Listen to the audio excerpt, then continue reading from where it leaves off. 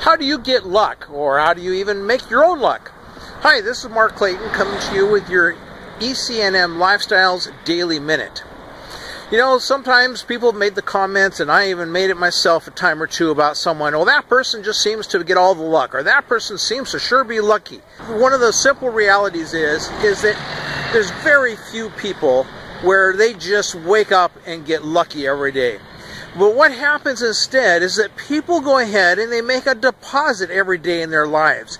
They're consistently making a deposit. It's kind of like making a deposit. You've got a bank out there and you're making deposits in one branch of that bank.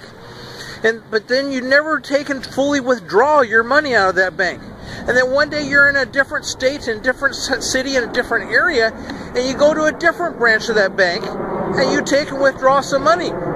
Well, that money is there because you really deposited it, even though you're taking it out in a different place. And that's how luck happens, and that's how you make your own luck. That's how you get lucky.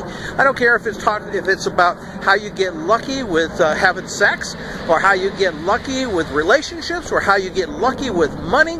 You make your own luck, and you make your luck by consistently living your life every day, making deposits and not withdrawing every day, but making deposits in one place, and then he one day will get lucky by taking it out somewhere else.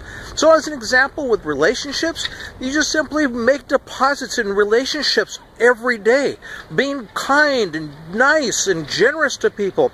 And then you know what happens? You get lucky in your relationships. So thanks a lot, and uh, go ahead and click on that link to learn more about ECNM Lifestyles, and we'll see you later.